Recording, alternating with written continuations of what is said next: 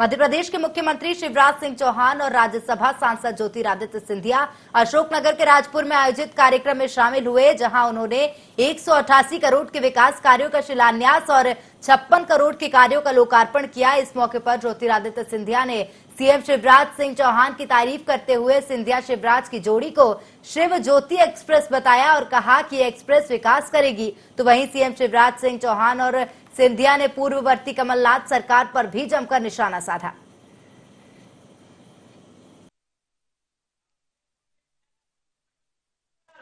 फ़सल बीमा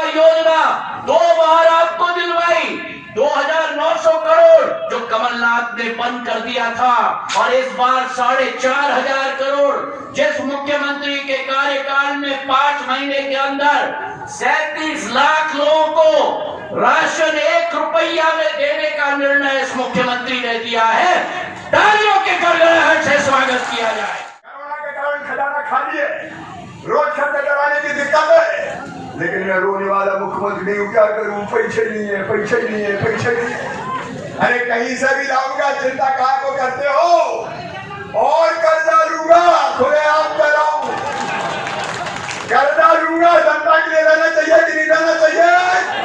अरे सब बताओ कांग्रेस कैसे कर्जा ले रहा बोलो लेना चाहिए कि नहीं?